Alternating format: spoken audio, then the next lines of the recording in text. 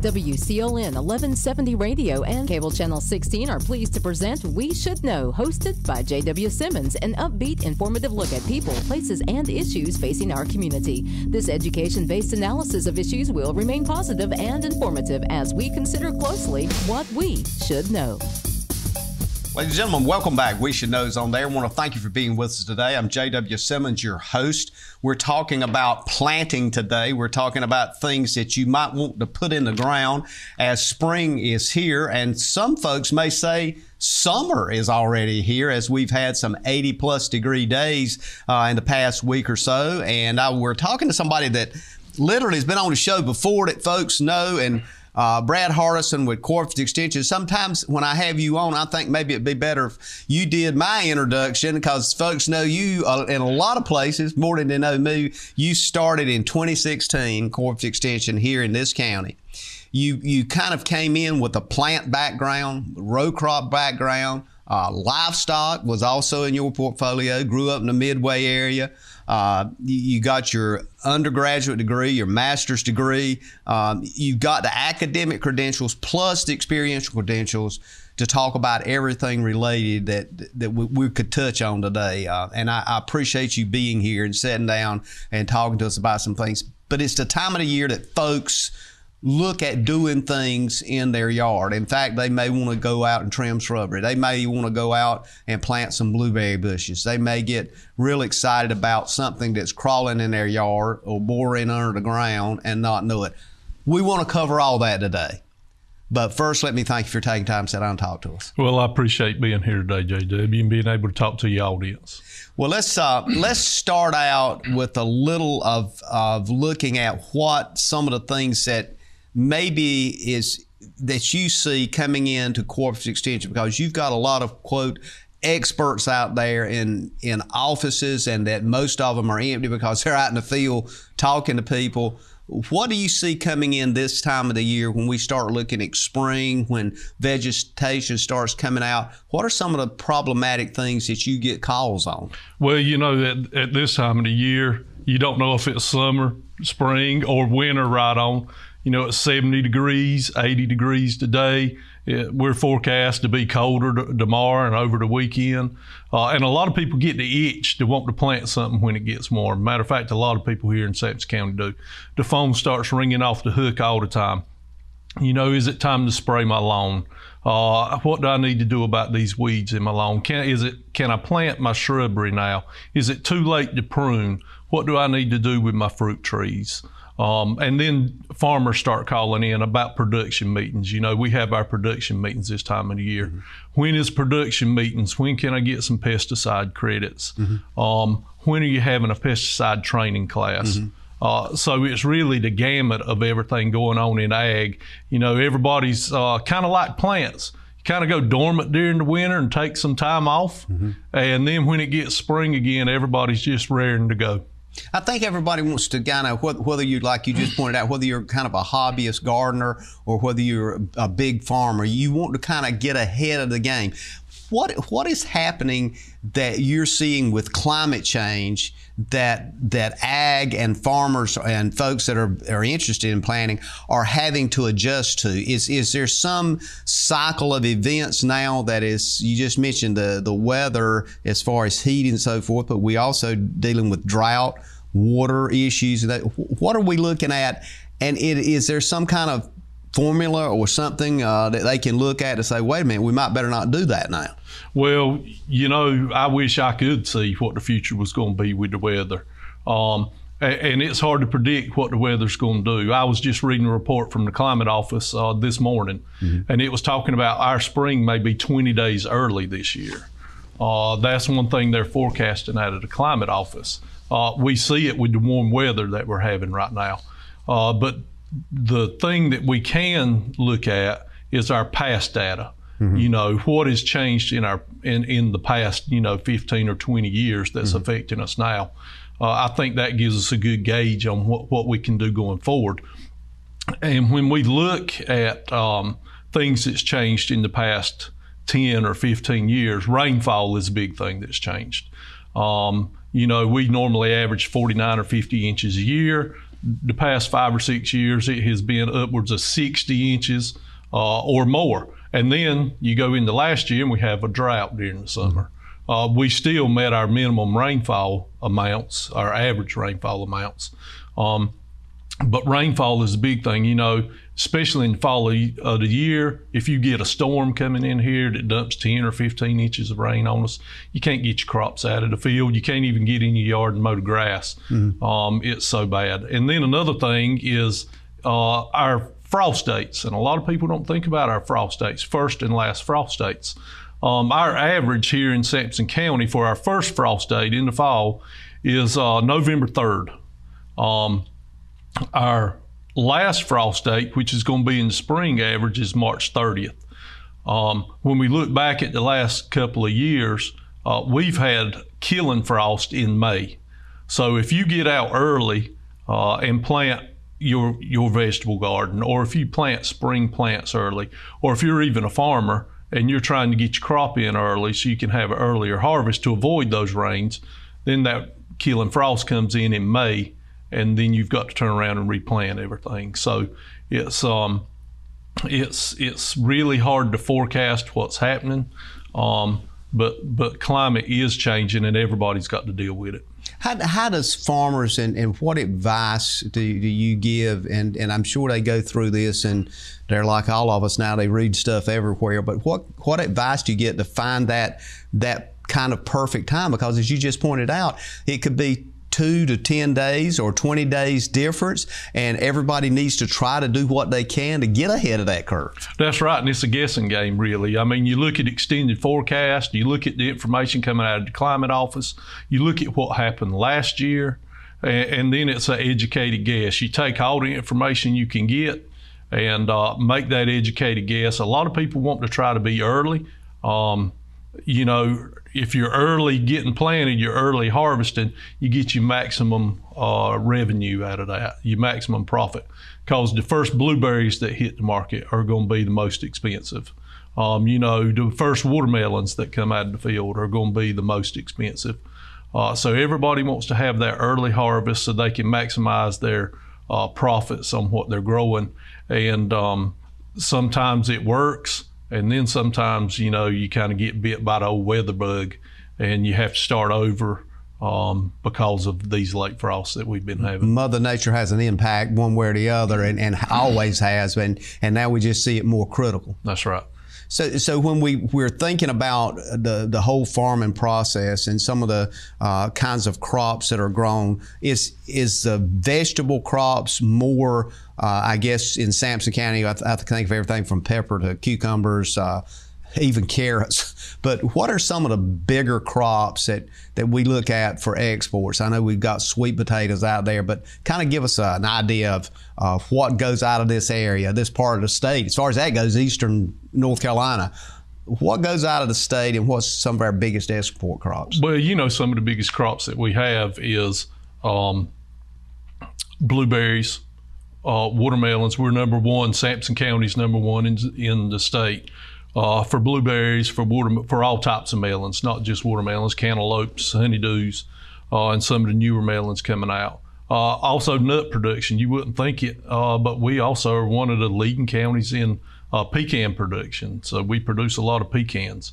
Uh, we also produce a lot of soybeans um, and corn that go out of here.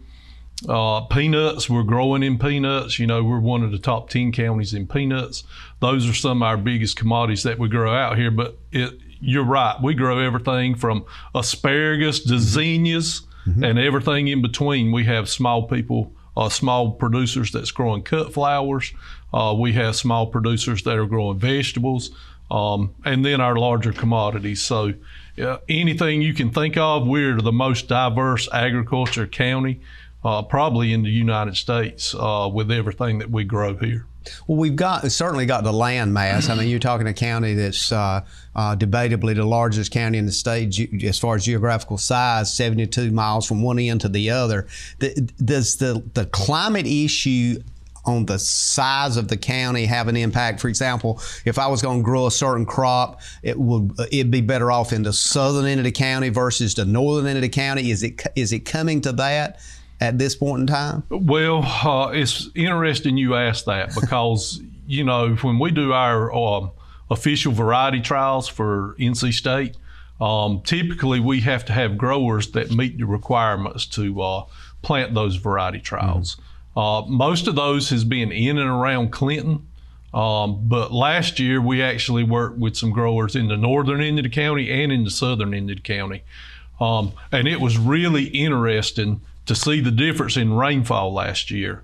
Uh, you could take a swath of land that was kind of through, uh, followed 24 through the county from Roseboro right on into Clinton, right out of Clinton toward Warsaw, that didn't get the rain that other parts of the areas did. And, and the yield uh, w- was just so much different, uh, so much more yield in those areas that got the rain. Um, so, so when you think of a, uh, a county that's as big as Rhode Island, we're mm-hmm. big, big mm-hmm. as Rhode Island. Um, a, a, lot of, of, climate and rainfall and heat differs uh, from one end to the other.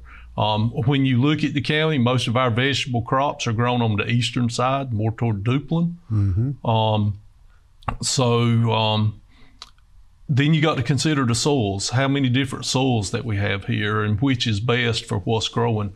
Um, a, a, lot of factors to consider when you're when you're almost a thousand square miles in Sampson County. And, and that that adds up to decision making for for all of those farmers out there that are, that are in this, not only uh, did they uh, obviously enjoy what they're doing, and some of them been doing it for many, many years, but it's a decision making process. Where do I, if I'm renting land, where's the best land to rent if I decide to, to have a new crop? Uh, what is the soil type? What does that mean? What's the uh, what's the availability of getting that tested? How often do I test it? Does the soil type change? I want to kind of get into some of those things in this second segment as we as we take a break here. But uh, I want to come back when we do touch on that and then kind of move to some of the more, um, should I say, aggressive things that the average person is going to be doing in their yard. Ladies and gentlemen, we'll be back in a moment. We're going to be talking about some things that you might need to know about your yard or your personal garden. We're talking with Brad Hardison. We'll be back in a moment. Providing fewer commutes, more backyard offices, and crystal clear meetings. Providing less, uh, you froze up. And more presence in your presentations. Providing a better internet experience.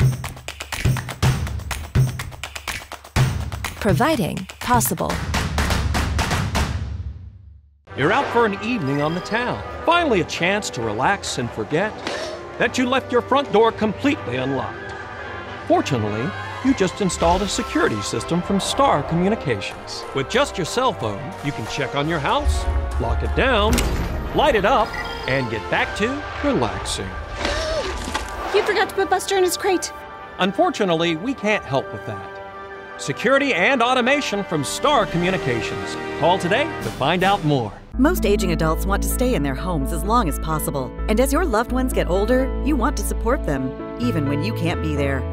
Star is proud to offer Star Alert. This new system is now mobile and has GPS compatibility, so your loved ones can live their lives and you can have peace of mind, knowing they can get the help they need with just the simple push of a button. The new Star Alert also offers automatic fall detection, so help will be alerted even if they can't press the button. Call and ask about Star Alert today.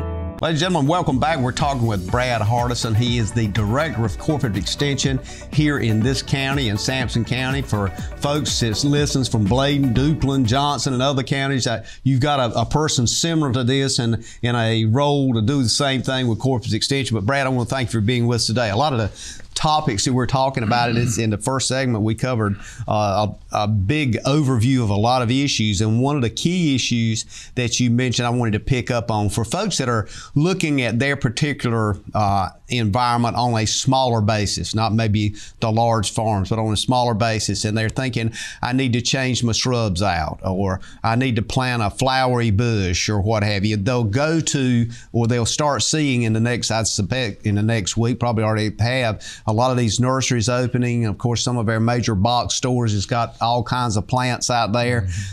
They say, "Oh, this this plant is it looks real good. Pick it up, stick it in the yard, and in two or three weeks, it ain't doing well." Is that soil type? Is that environment, or what? Where was the mistake there? Well, it could be a whole lot of things that, that cause that problem. Uh, soil type is one. Uh, soil nutrient load could mm-hmm. be another one. pH. Um, it could also be is that plant in the right place? Uh, you know, some plants like uh, dry feet, some plants like wet feet, wet areas or dry areas. Um, and, you know, a lot of that's not found on the plant tag. Um, that's where you've got to know what you're buying uh, and where it should go. We got a great website for that, Plants NCSU. Uh, you can Google that and, and, find that plant website and um, find those plants. And you're right, everybody's starting to open up. People's calling, is it time to plant yet? Can I start planting? And um, a big thing I can tell people before you decide to buy a plant because a lot of people walk by something and it'll be beautiful sitting there in the store mm-hmm. and they impulse buy they want to buy it they said oh that'll look lovely in my yard yeah. and then find out it's not the right plant for your yard or or it's not going to grow well in the environment that you're going to place it in uh, or you may plant it too deep you know that's mm-hmm. a big problem that mm-hmm. we find in some of them um, but before people buy plants and go out and, and start shopping for plants, I would suggest and recommend that they do a soil sample uh, to find out what the pH is in that area. Uh, and also what the nutrient load is mm-hmm. in that area. Um, because soil is kind of like bacon. You need a recipe mm-hmm. uh, to be successful. And, and it works the same way uh, with soil and plants. Plants require a certain pH and plants require certain nutrients uh, to be healthy. And um, if you can put the right plant in the right place, uh, then then you're way ahead of the game. And if you get your soil sample right, and that plant can absorb those nutrients, uh, it'll be healthy and can and can um, uh, ward off pests that's going to come in the future. So, so basically, what I hear you saying is like the soil type for uh, roses, for example, might be different than the soil type for tulips or something like that if you're planting flowery plants. Right, absolutely. and one big one is azaleas. Um, azaleas like a, an acidic soil, which is a low pH. If you plant azaleas in a soil that's going to be you know, close to neutral, they're not going to do well at all because it, it affects their ability to absorb the nutrients uh, that they need to grow and, and be healthy. To, to kind of help draw a picture to that, it, when, when we think about acidic soil, uh, it, are we talking drier, more sandy soil, or are we talking darker, wetter soil? Well, uh, or can it be either one? It, it, can be either one. And our soils in Sampson County typically is going to be acidic. They're mm going to be lower on pH, and that comes from uh, our parent material of our soils. You know, it's marine sediments, it's our parent material mm here. It's going to be more acidic. So that's why a lot of people uh, have to add lime to their soil to bring the pH up. Um, however, it depends on what plant you're planting. Blueberries, azaleas, those are two I can think of right off my head, like more acidic soil, and they're going to do better in that acidic soil. So you don't really want to lime those areas to bring the pH up. When we when you talk about sample the soil, is that something relatively easy? Does somebody have to come out and do that? Is that do they get a scoop and get something, put it in a bag, and take it somewhere? How does that work? Well, you know, soil sampling. Um, is fairly easy for somebody that does it all the time. Mm-hmm. Uh, we don't go out and sample homeowners' loans. Uh, that's something that's just not in our budget to do. Mm-hmm. Uh, but soil sampling is really easy. All you need is a little hand shovel and you go out there in your yard and you take your hand shovel and you take 15 random samples of the specific area you want to plant the plants. Mm-hmm. Um, if you're looking at a flower garden, you just want to take it in the area of the flower garden. If you're doing your lawn, you just want to go out and take those samples from your lawn. How deep do you want to get? And that's a great question because with the lawn, you want to stay in the root zone of whatever plant it is you're planting. So if you're in your lawn, uh, you want to go about four to six inches deep. That's going to be as deep as your roots are in your lawn. If you're doing it in a your shrubbery, uh, your shrubs are going to be a little deeper at those roots. So you're going to go about six to eight inches. If you're planting fruit trees, you want to go down to at least 16 inches because those roots are really going to get down in the ground. And uh, we have free soil sample test kits at our office. It comes with the boxes and it comes with instructions on how do you take your soil sample.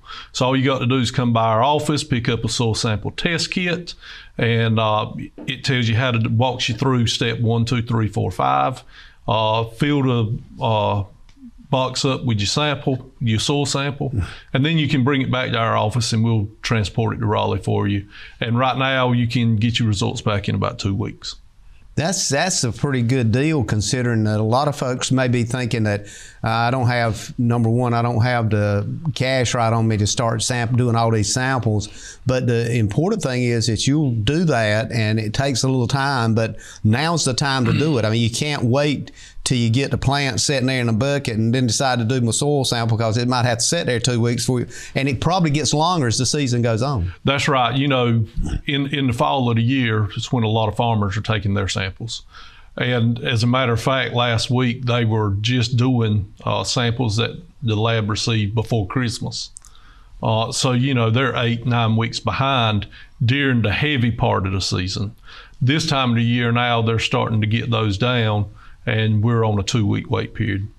Well, and I, I, think the the conversation we're having is important because I'm reflecting back over a few years, and a big concern folks have mentioned to me is that the cost of plants, especially if you're talking about woody plants or even uh, blueberries or what have you, th- these plants have gotten expensive when you go to buy three or four, what have you. You know, I mean, you you can you can spend two or three hundred dollars, and in no time, as you pointed out, saying that's a nice looking plant. I believe I'll get that.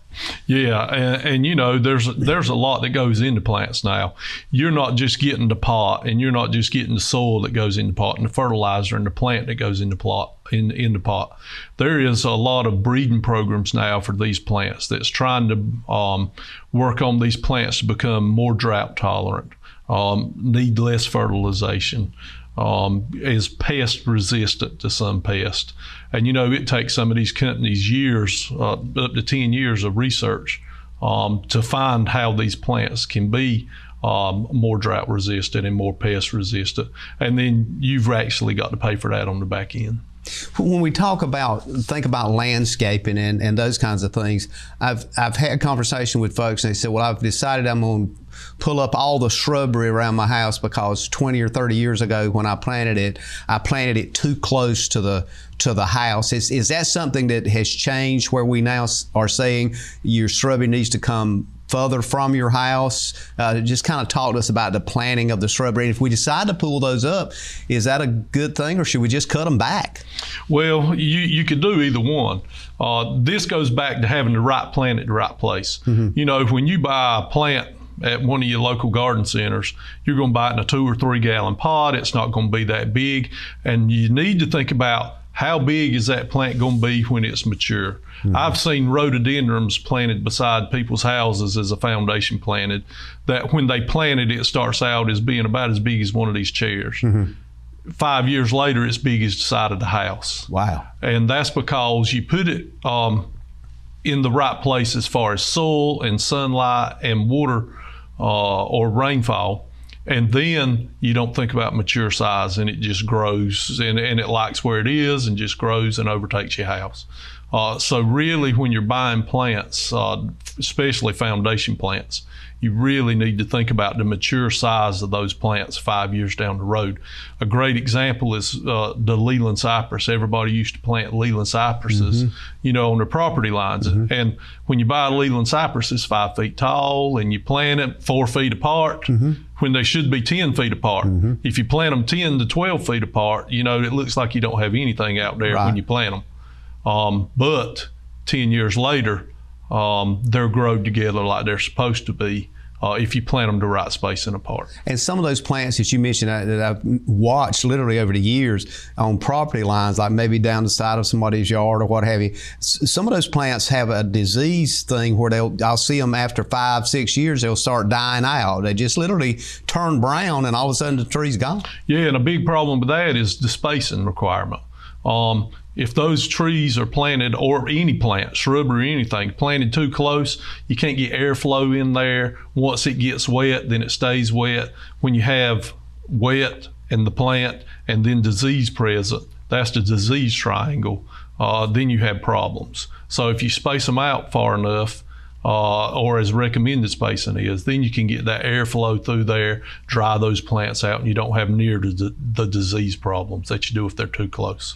We're, we're going to take. We're coming up on a break here, and I want to uh, kind of for this next segment get into some of the pest that is, that we're seeing and and how do we kind of ward that off. And and I'm talking here to just kind of get folks to know where we're going here is everything from fire ants to things that kill the berries or call the if you got blueberries or strawberries or whatever you might have or even roses what should we put on them uh, is there things that's toxic that we need to understand? If we get it on our hands we need to make sure we we wash our hands good. Most folks are familiar with something called Sevin dust you know seemed like that was a cure all for everything. But I want to get into that and maybe talk about some voles and moles as well. Okay. Ladies and gentlemen, we'll be back in a moment. We're talking with Brad Hardison about all things plants at this time of the year. Stay tuned, call a friend.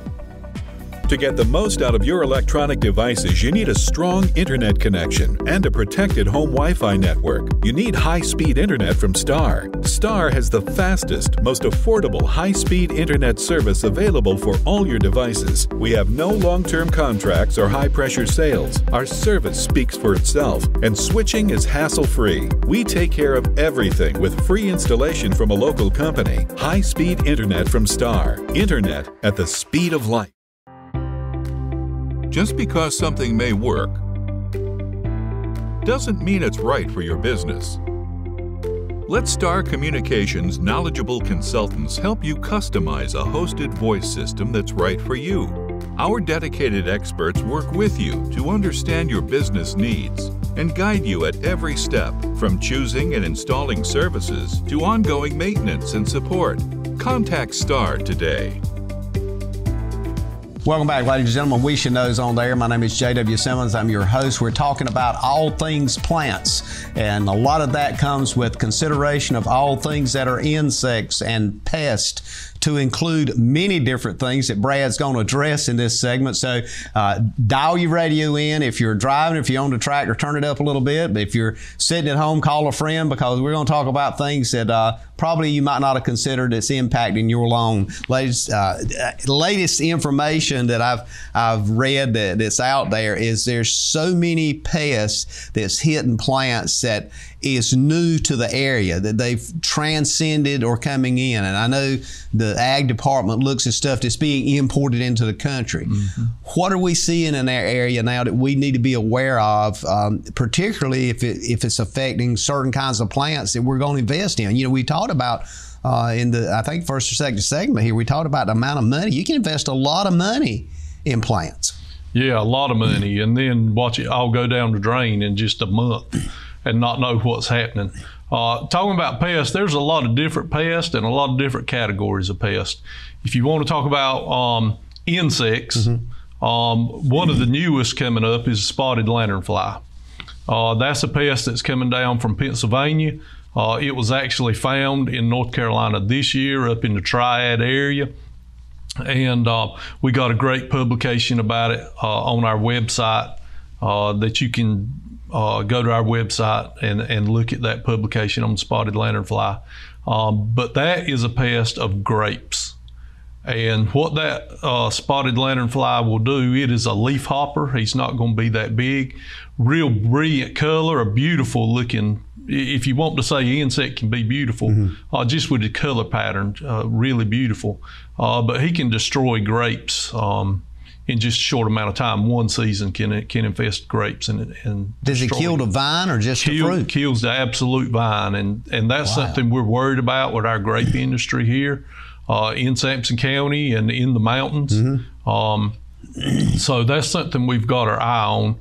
There's actually a website, I can't remember uh, what it is, but you can report uh, to the NCDA if you actually see one of these spotted lanternflies, and then they'll come down and we'll do a big investigation and find out where it is. Should we capture from. it? To, I mean, if you see one, should we capture and put it in the old jar, so to speak? Absolutely, and bring it to the extension office so we can get positive verification and identification on it, uh, and then we'll go from there there's over the years I've noticed with these insects and different kinds that are moving throughout the country that, that, there's an effort to try to eradicate it. Is is that really possible? Can we eradicate certain kind, or is that just us trying to hold it down? Well, you know, it depends on what type of insect we're trying to eradicate.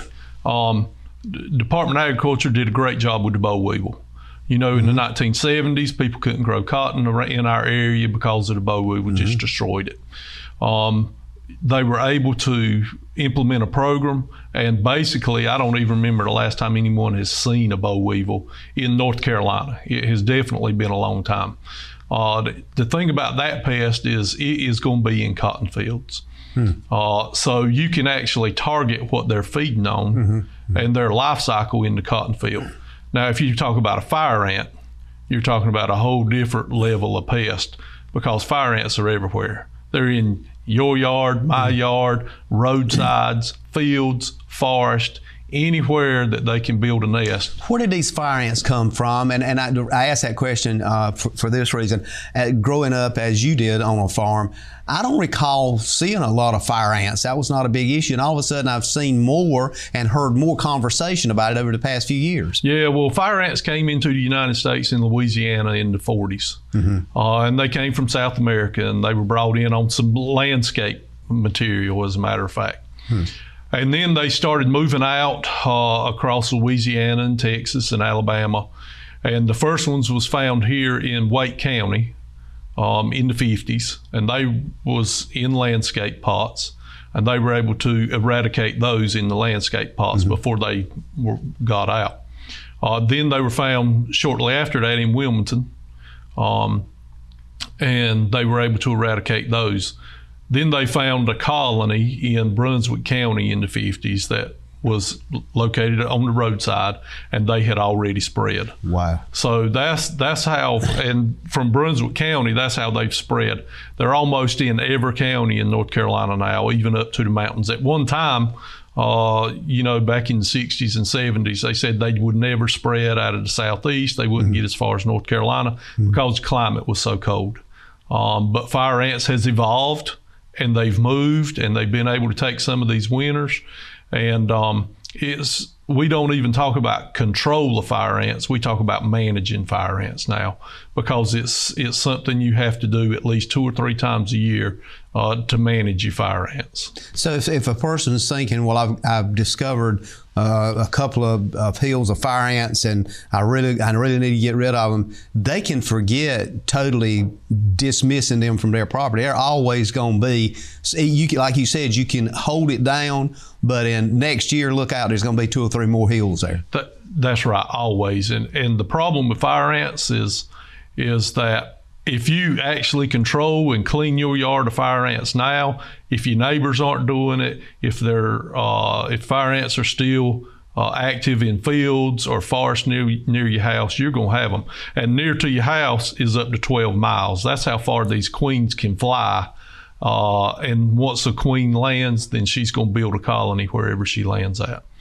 That's that's amazing. I, and I, I think not only from the sense of understanding what fire ants is, but the resilience of fire ants. I, that's that is a, a, story that should be. I can I can see scientists looking at that and figuring out. Well, maybe we need to do whatever they're doing to be able to res, have a resilient population. You know. Yeah, I mean, you know, during Florence when we had the floods. Yeah. Uh, here in the county, you know, we watched balls of fire ants just float on top of the water uh, until they could find some dry land, and then they all got off, built a new mound where they got off at, and survived through the floods. Um, that's how they did it.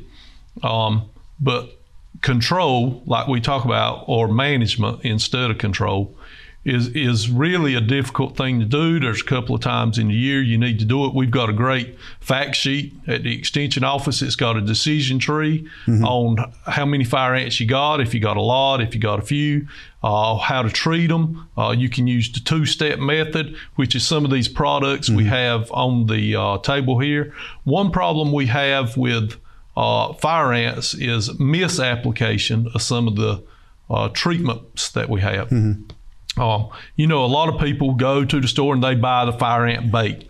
And that is a great thing to buy to use. It actually works. It takes seven to 14 days for the bait to work.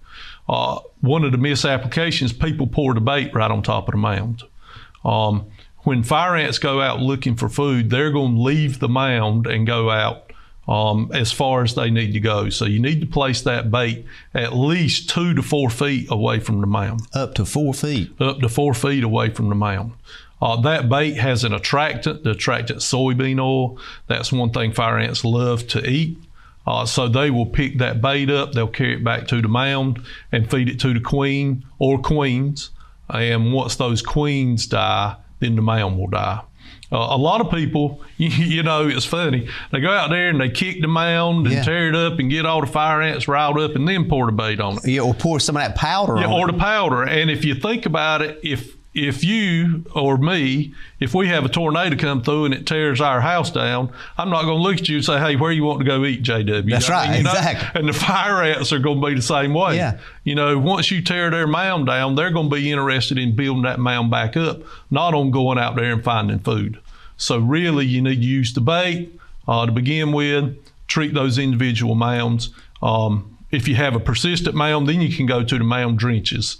Uh, put those powders on top of the mound, and they need watering in. That's something a lot of people don't do is water that mound in because that toxicant needs to get all the way down in that mound to where the queen is. This this process is something that's it's really important for folks to uh, for us to spend a little bit of time on because if you don't do it that way, you're going to be basically killing a few fire ants at the top of the ground, and you're not going to get the, the nest of the fire. That's right, absolutely. And you're going to have to do that over and over again. You're still not going to go in. That's right, and if you apply correctly, uh, you can manage them at least until the next uh, breeding cycle comes. So around. basically, you got to do the three to four feet out, two to four feet out.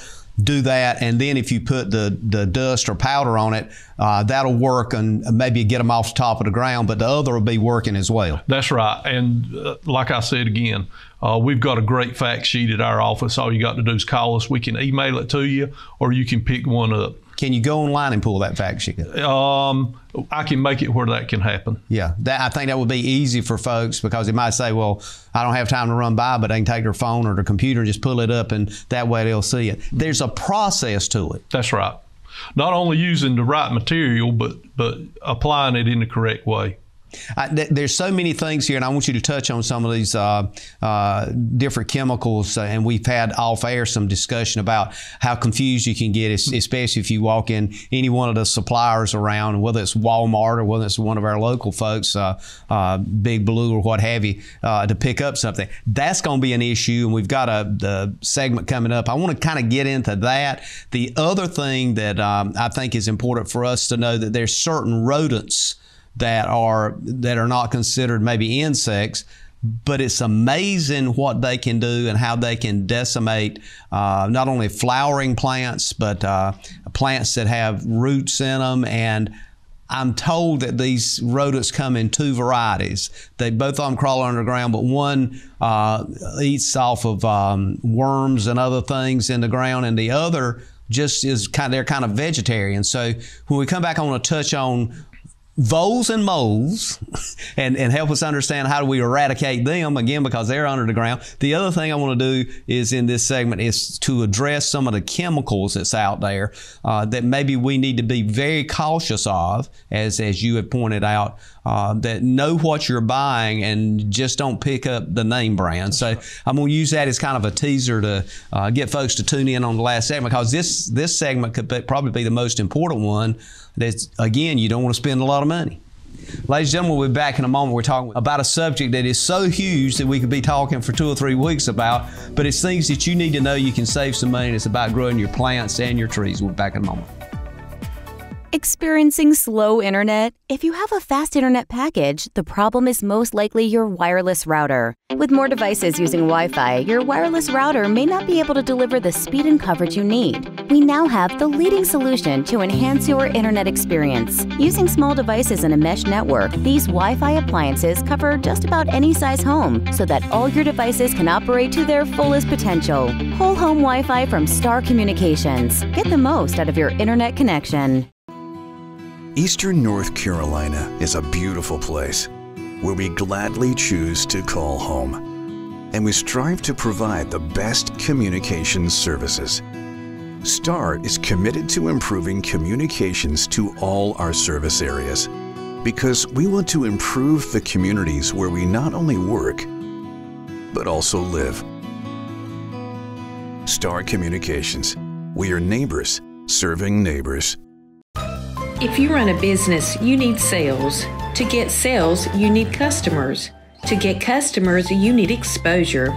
Let our team of experts craft and produce the perfect video ad to reach your intended audience while making the most of your advertising dollars. Call 1 800 706 6538 or visit starcom.net to contact our Star Communications production team and get your business moving to the next level. Ladies and gentlemen, welcome back. J.W. Simmons here, your host. The name of the show is We Should Know. We're coming to you on Star Communications TV channel 16 and 316, simulcast on WCLN radio at 2.30 on Tuesdays, also 7 p.m. Tuesday, Thursdays on Star Communications TV. We're talking with Brad Hardison today. Brad, want to make sure folks understand it. Your role is the director of cooperative extension here.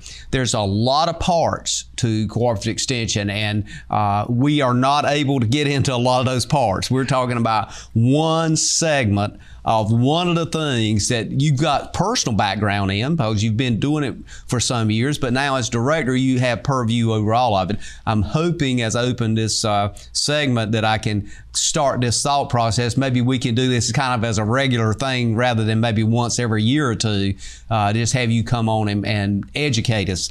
Uh, we, we, were talking as we went off air. I wanted to come back and continue our conversation about things that impact our plants. Two things that are out there. In fact, I had a person to mention to me some time ago that they literally sold their house because moles had infested their yard, M O L E S, and then there's another critter that's under the ground that crawls around that's called a vole.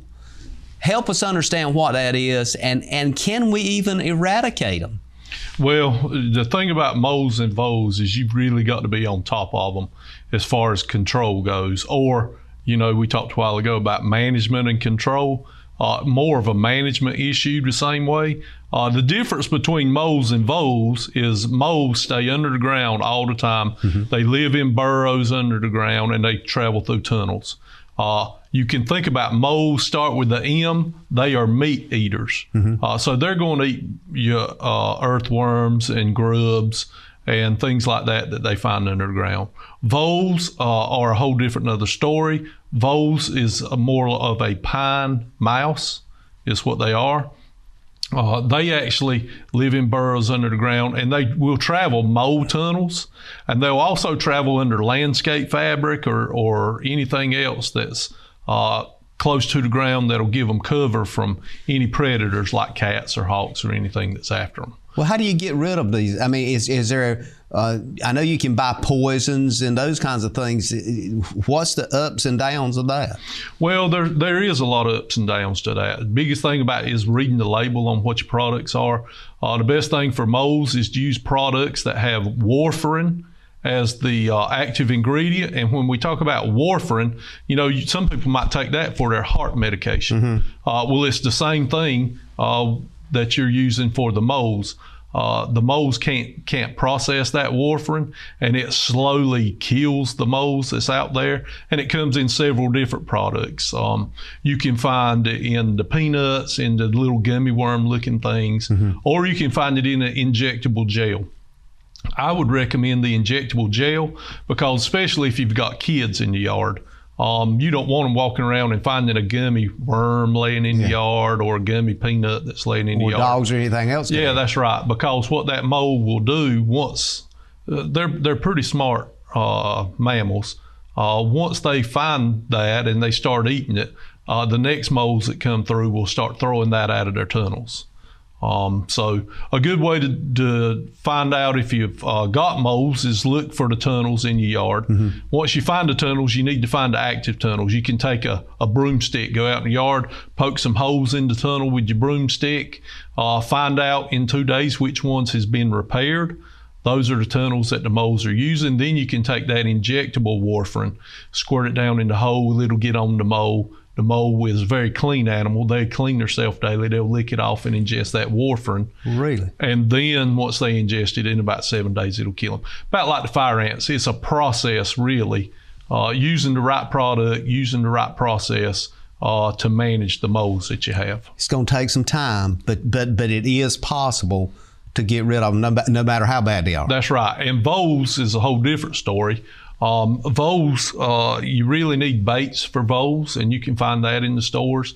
Uh, the vole baits, you need to find out where they are actively feeding. I've actually been in a homeowner's yard before and watched a rose bush get pulled down into a hole by a vole that had chewed it down and was trying to pull the rose bush down in the hole that he was staying in. I mean, that makes you want to go get the shotgun. Yeah, You know what I'm saying? yeah, that- and you'd be surprised how many homeowners treat them that way too. Yeah. Um, but you know, here's the bad thing about the vole. The vole starts with a V, so it's vegetative. Yeah. It's going to eat your bulbs. It's going to eat your roses, the roots of plants.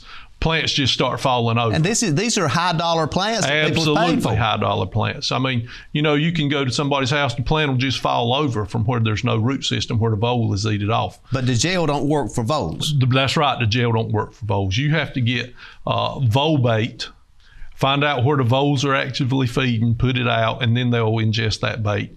And then it'll it'll slowly, just like with the with the moles, it'll take. Does it come in packets or It does. It comes in packets. gel It's- form? It's, kind of like you find your uh, mouse bait in the packets. Yeah.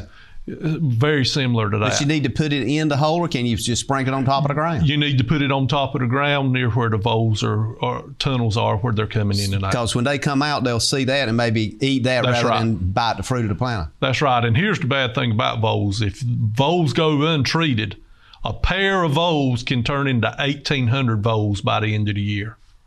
Wow. And I thought rabbits could repopulate. Yeah, voles are really prolific. Um, it doesn't take long; takes them about six weeks after birth to reach mature age, uh, and then those start breeding. And then before too long, you've got 1,800 if they go untreated. This is a deep subject. and We're going to post your number and contact information, but Cooperative Extension, they can get up with you. Folks are going to have a lot of questions about this. We can't cover them all here today. And the great thing is, uh, we have a Master Gardener plant clinic.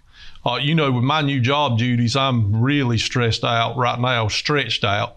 Uh, with budgets, uh, with all the programming that's going on. Administrative stuff. That's right. So our Master Gardeners has a plant clinic. You can call the same number down at the office, and the And Master connect with Gardeners them. will be able to answer all these questions for you. You know, they've they've taken a 40-hour class, 16 weeks. Uh, on all these subjects, they can really get to you a whole lot faster than I can. And you got a wide variety of folks that are now master gardeners in that program that's willing to help you, include including I've just discovered some former medical doctors that's retired and decided to do another approach. So Yeah. this is a great, great opportunity. So we'll be getting that information out. I want to get back before we run out of time here and talk about some of these products that we got up here and get back to that fire ant thing as well. The application and use you have pointed out clearly is critical. You can spend a lot of money on this, but unless you use it properly, you're basically throwing your money away. Yeah, that's right. You're throwing your money away. You need to know what product you're using first. Then the second thing you need to know is how to apply it correctly. So with products, if if I was to use a brand name, and you call me and say, uh, Brad, I got a problem with my loan. What do I need to do? And I say, well, go down to the store and, and buy Image. Image will work on it. Well, we can look right here on the table. There's three different image products, brand name, but they've all got three different active ingredients in it. They're going to treat each one treat something different. So if I had nutgrass bat in my yard and went and bought image, I might buy the one with the 2,4-D with the broadleaf weed killer. Mm-hmm. I might buy the one for the pre-emergent that's not even going to touch the nutgrass. Then I go out there and spend $50 trying to treat with the wrong product and I've wasted that money, or either I think the product's no good and it's not going to work.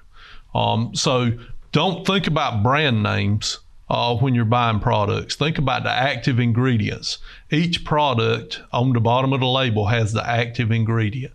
That's what you really need to be looking at when you're buying chemicals or pesticides to treat any pest that we have. And same thing with looking at the fire ants and those kinds of things. Look at it, look at the application. If they have questions, they can reach out again to the Master Gardeners or, or call 592 7161. Yep, that's it. It's correct, 910 mm-hmm. 592 7161.